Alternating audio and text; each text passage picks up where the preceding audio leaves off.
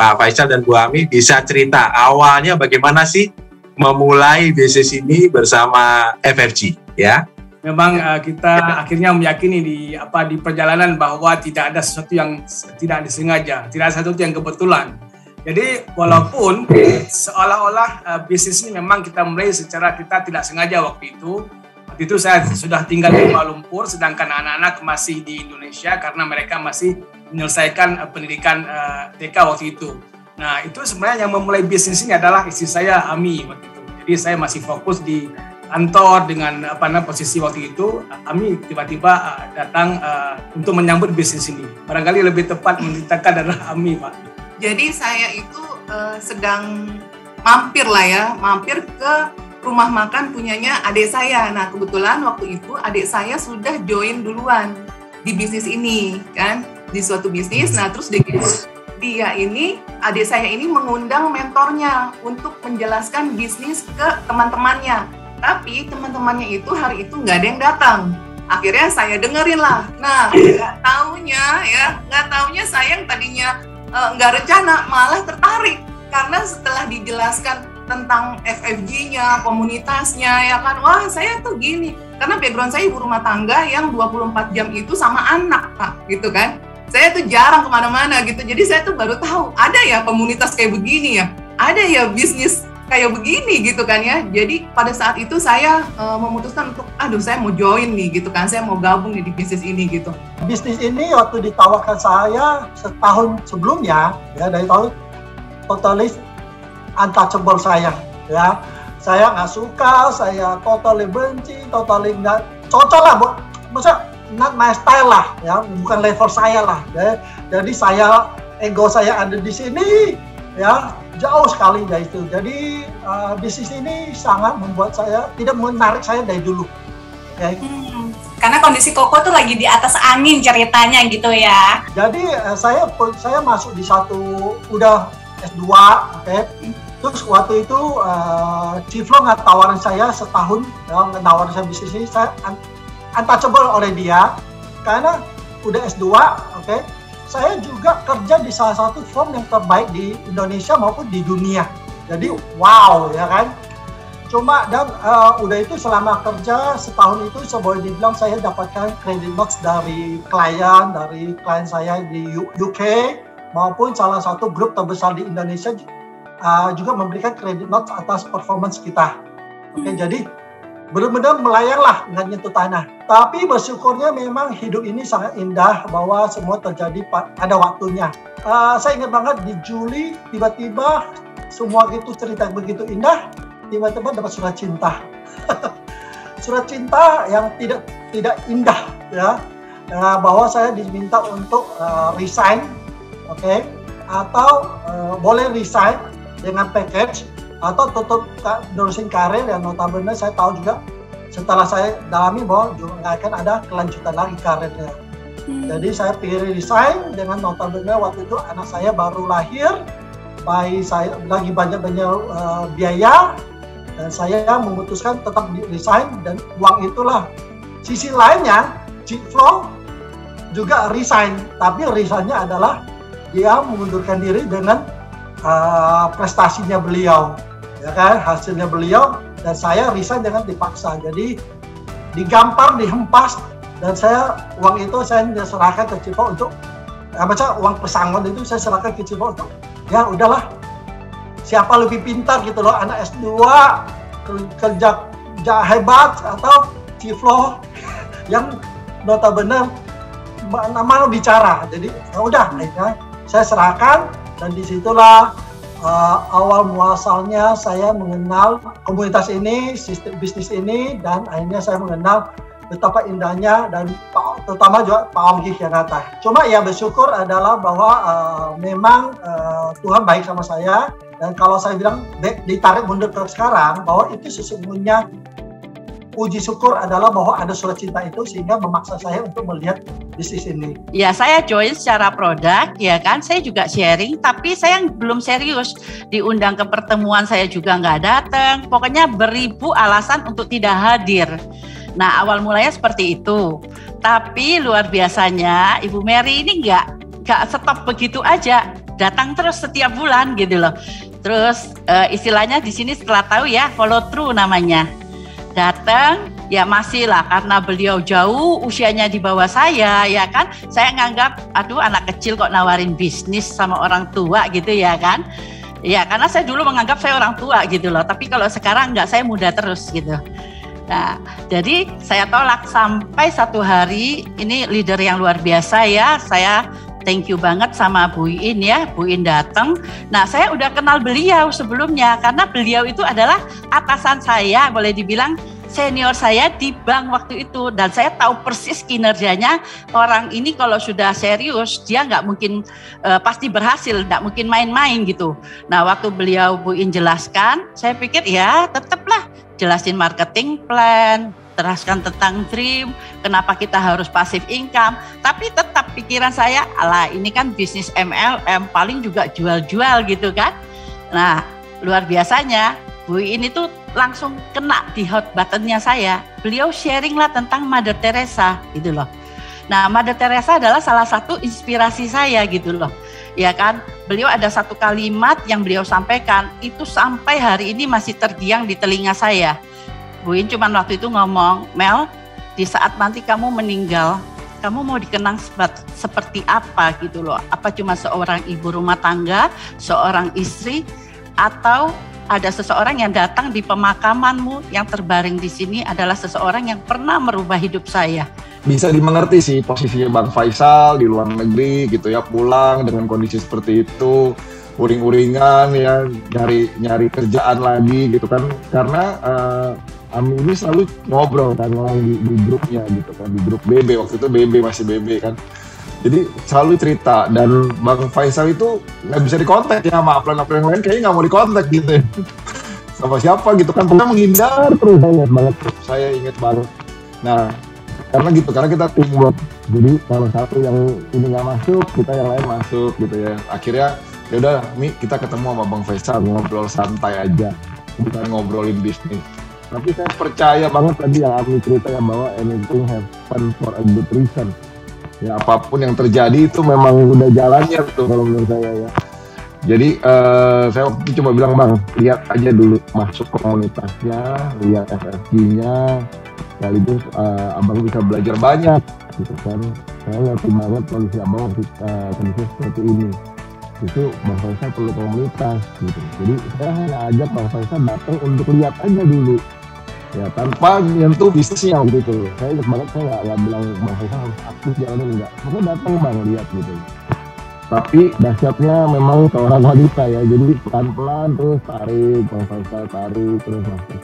Sampai hari ini terus aktif ya sejak saat itu tuh. Mulai terus aktif lihat ikut wealthy sale ikut show waktu itu kan mulai terus terus mulai bangun timnya ke Aceh lagi mulai ini lagi. Jadi uh, saya lihat gitu confidence-nya balik ya ya jadi uh, kepercayaan dirinya Bang Faisal tuh balik gitu. Jadi ya itu gara-gara memang uh, satu keputusan gitu kan. Walaupun di, latar belakangnya dengan sesuatu yang nggak enak kan. Saya di, di, dipecat gitu ya. Dibalik pulang gitu. Tapi gara-gara itu di situ uh, ya hari ini mereka seperti ini. Nah tapi semua itu berubah ketika masuk di FFG ya jadi benar-benar totally different banget Se apalagi semenjak bootcamp ya saya dan mama sebenarnya kita nggak ada problem yang gimana tapi memang karena kita orang yang sama-sama pendiam jadi juga nggak komunikasi yang banget gitu loh jadi nggak saling terbuka nggak saling cerita tapi semenjak bootcamp itulah komunikasinya mulai terbangun bisa cerita, mama bisa dengar saya, saya bisa dengar mama gitu ya.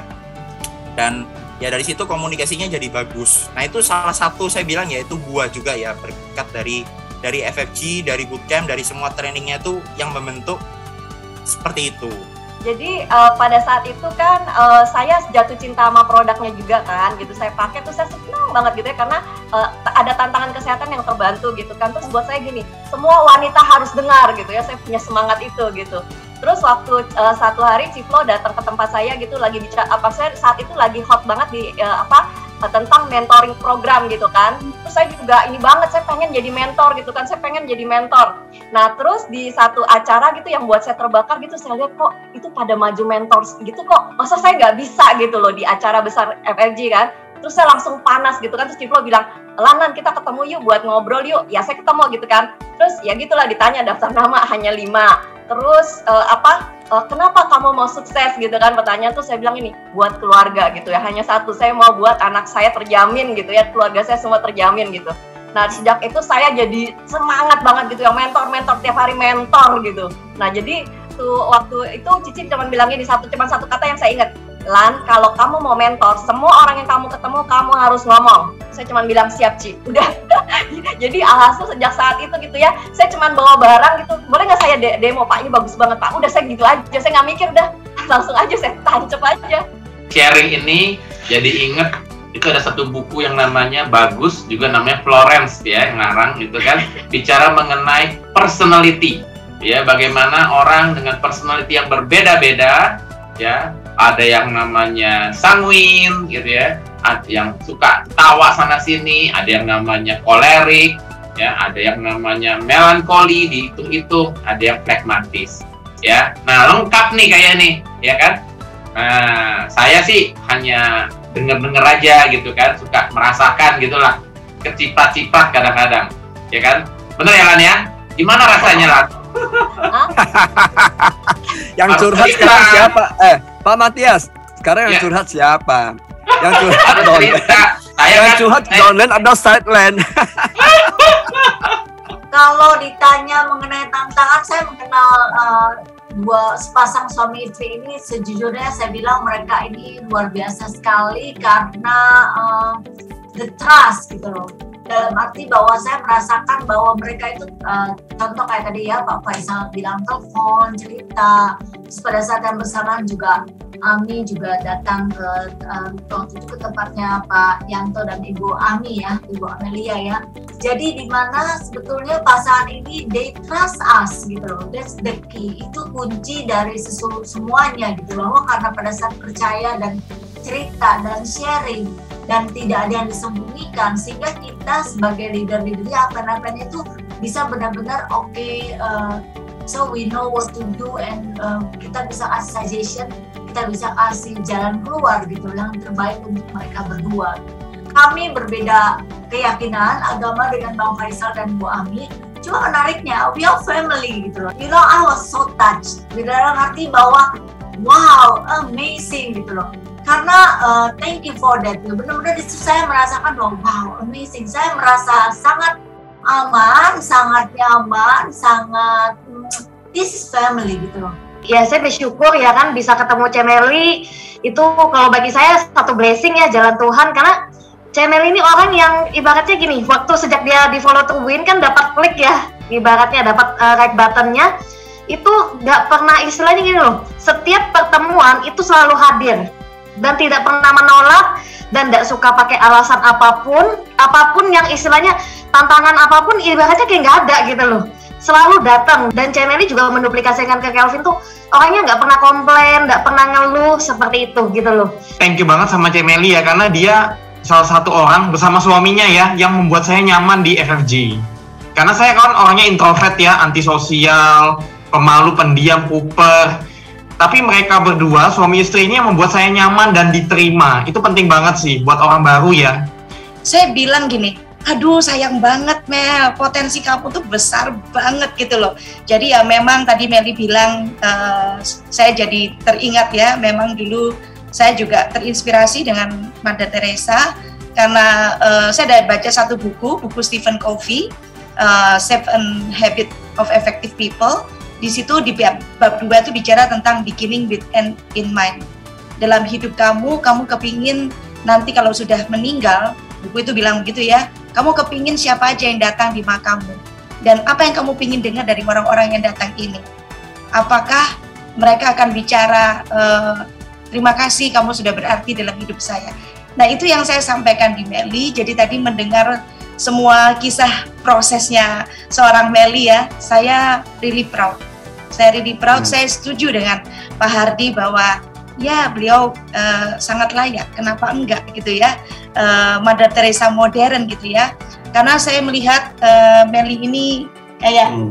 mami ya, hmm. maminya balik papan gitu ya. Jadi istilahnya tuh hmm, banyak grup ya uh, salah satu yang saya ingat itu Yunita ya itu yang betul-betul disentuh hatinya oleh Meli sampai anak ini betul-betul menjadi lebih baik lebih baik. Uh, itu saya tahu benar prosesnya kayak gitu ya. Dan uh, saya saya merasa bahwa Meli ini melakukan bisnis ini dengan full heart gitu. Kemudian uh, terhadap uh, upline-nya Hadi Mary uh, Meli itu juga tidak pernah bosi nggak pernah gitu loh. Jadi dia itu betul-betul uh, follow, betul-betul tetap respect gitu loh. Seiring dengan waktu saya bilang luar biasa ya. Nah, uh, saya ingat banget tahun 2017 akhir itu yang mereka ceritakan itu tuh saya ngelihat begitu Pak Felix. Saya ngelihat adalah pada saat mereka kan beri, memberi, memberi, memberi, memberi cinta, datang datang ke Aceh ya walaupun kadang-kadang banyak konflik terjadi. Tapi saya lihat ketika uh, leadernya mendapatkan satu masalah, itu semua timnya protek. Jadi saya lihat bahwa gila ya bener-bener uh, apa uh, kita tahu perasaan orang sebenarnya adalah pada saat kita kena tantangan gitu. Nah pada saat mereka terkena tantangan itu semua timnya yang protek Pak Felix dan itu saya bilang luar biasa. Luar biasanya apa? Kita nggak pernah tahu hati orang itu sampai sejauh apa. Pada saat ternyata yang kita pikir mereka nggak peduli, ketika kita terus memberi, ternyata itu mereka benar-benar melindungi sebagai satu keluarga dan di situ saya melihat perkembangan bisnisnya sangat luar biasa sekali bondingnya heartnya apa segala macam itu luar biasa dan itu sangat menginspirasi sekali Pak Felix. Intinya saya lihat bahwa sebenarnya proses mereka hanya proses tadi yang bilang Matias itu perbedaan uh, karakter. Jadi uh, kolerik ketemu dengan melan uh, dengan flekmatis gitu kan flekmatis walaupun dia nggak suka kadang dia diam. Nah namanya juga manusia seflekmatis flekmatis apa kan ada suatu saat masih meledak. Nah cuma saya lihat itu aja jadi saya saya tidak melihat itu big deal jadi saya tenang aja, saya hanya bilang ini is about time mereka akan akan beres. Kalau sudah tenang dia akan akan kembali normal. Buktinya sekarang is very good. Karena gini, kalau kita bicara mengenai kakak adik, kakak adik itu kan punya hubungan emosionalnya yang berbeda ya. Punya hubungan emosional yang berbeda dan biasanya itu kan lebih direct. Kalau kita udah berbicara sama keluarga itu kan pasti akan lebih direct. Terus lebih ngotot mereka tuh harus berhasil seperti itu. Apalagi kalau misalnya saya di keluarga itu kan memang kita punya satu uh, sangat care satu sama lain gitu. Jadi pokoknya intinya oh, kamu harus berhasil kamu harus berhasil. Jadi uh, itu pressure-nya itu menjadi ekstra kalau udah ke adik sendiri. Member FFG, keluarga FFG besar di seluruh dunia, kita harus mengumandangkan dan terus melakukan kegiatan ini agar banyak orang di luar sana get the benefit dari aspek yang lain selain materi. Kalau tadi saya lihat perjalanan luar negeri mereka luar biasa gitu kan. Kalau kita melihat kondisi di luar saat ini sekarang, nggak banyak orang punya kehidupan seperti itu. Serius loh, dari kacamata saya lihat bahwa this is amazing. Saya tersentuh dengan dengan cerita mereka, benar appreciate dengan perjuangan pasangan ini, dan appreciate dengan bimbingan upline-nya ya. Uh, dalam hal ini Pak Matias dengan Bu Floren dengan sangat tekun ya menghadapi uh, tantangan demi tantangan dan mereka dua ini juga sangat teachable ya pasangan ini sangat teachable dan mereka juga follow 100% respect jempol. Kalau saya saya bisa bilang begini, kalau seandainya waktu itu itu tes besar ya, tes besar sekali, tes paling dahsyat di dalam hidupnya mereka berdua. Kalau tes itu kagak lewat, nggak ada mereka sekarang. Dan itu perlu yang namanya kebesaran jiwa, kebesaran hati semua. Dan yang saya lihat adalah bagaimana ego masing-masing itu itu benar-benar saling menurunkan ego masing-masing, humble dan yang paling dari besar dari semuanya itu adalah power dari cintanya mereka. Itu saya rasa yang dimaksud selama ini everything happen for good reason kan. Jadi memang saya rasa ini adalah rencana Tuhan. Saya kalau dari sisi saya memandangnya Pak Felix, pada saat kalau kita mau merubah orang lain sebenarnya adalah merubah diri sendiri dulu banyak teman-teman kita masih di luar sana ya, termasuk saya dulunya, uh, selalu mau coba merubah orang lain ikuti kehendak ego kita. Uh, yang terjadi adalah tidak terjadi perubahan, yang adalah kita sakit hati kenapa orang itu tidak berubah-ubah. Padahal kalau kita mau cermin, kak, saya juga belum berubah, tapi saya nuntut orang berubah gitu ya. Saya yakin Ami mungkin dapatkannya dalam proses uh, di bootcamp maupun di berbagai acara. Dia ambil leadership tentang perubahan itu sendiri. So saya salut sih, saya salut benar-benar saya salut kepada pasangan ini dan saya juga salut terhadap mereka yang percaya sama kita gitu ya. Mau bersatu dengan kita, bergandengan tangan, tidak membedakan agama, suku, ras di sini. Ini salah satu showcase yang bagus untuk masyarakat Indonesia maupun masyarakat dunia. Sebenarnya kita boleh berbeda budaya, berbeda pandangan, berbeda agama dan keyakinan, tapi kita tetap satu hati dalam untuk menggapai kesuksesan bersama, kebersamaan untuk mencapai masa depan yang lebih indah, yaitu untuk umat manusia. Itu sih pandangan saya. Sorry agak, agak panjang gitu. uh, ya bukan menggurui sekali lagi, bukan menggurui. Harapan saya talk show talk show semacam ini akan semakin banyak orang mendapatkan manfaat dari the true story gitu. Bukan di karang-karang, bukan dibuat-buat, tapi based on true story. Itu sih Pak Felix. Anto story-nya FFG itu menggambarkan begitu uniknya FFG membentuk manusia itu dari kalangan apa pun bisa berhasil. Ini keluarga yang sangat luar biasa. Tapi memang betul, ini FFG membuat bahwa orang cerewet sama orang tenang itu tetap bisa berhasil di FFG. Stand love, kasih Stand hati. Love. Stand love, kasih hati. Di bisnis ini tidak butuh orang yang pintar bicara, katanya Pak Ongki orang yang punya, punya hati, hati. dan keluarga ini membuktikan. Jadi kalau dibilang ini untold story, ya saya ambil satu menit lagi ya untold story. Betul-betul ini untold story. Pembicara utamanya cuma senyum, senyum, senyum ya. Tapi semua bicara tentang bagaimana FFG luar biasa membentuk keluarga Meli. Luar biasa. Jadi saya bilang ya Vika ya, FFG sangat luar biasa kelebihan dari FFG ini kan kita selalu kompak ya antar upline tuh kalau membina satu tim itu kita satu hati. Nah di sinilah saya merasakan bahwa keunggulan dari teamwork itu ada di situ. Pada saat Meli menemukan visinya, menemukan misinya, di situlah kehidupan dia mulai. Lihat ya, makanya kenapa FFG sangat menekankan pentingnya goal, dream, visi, misi dalam intensive training adalah basic stepnya kita.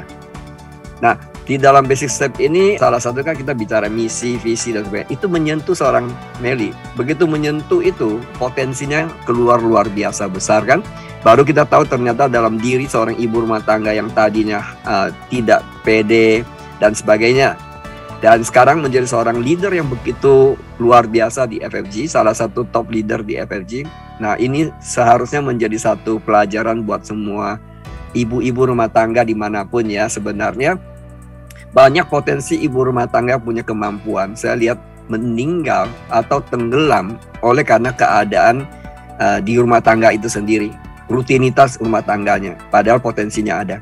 Itulah salah satu kelebihan atau contoh yang diberikan oleh seorang Bu Meli kepada ibu rumah tangga yang lain. Sekali lagi kami menyampaikan uh, terima kasih kami dari lubuk hati kami yang paling dalam kepada Pak Unggi Jenata yang telah uh, mengcreate FFG luar biasa untuk kemanusiaan, untuk insania. Dan juga guru kami ada Pak Yulianto, Pak David, Bu Filan, Bu Yuliani, Pak Matias, Pak uh, Bu Floren, dan juga tim kami di Aceh maupun di beberapa negara lain yang kami sudah link hati, link heart, perasaan sebagai orang tua, perasaan sebagai anak, dan perasaan sebagai sebuah family yang uh, merasakan sebuah keberkahan yang sangat besar Pak.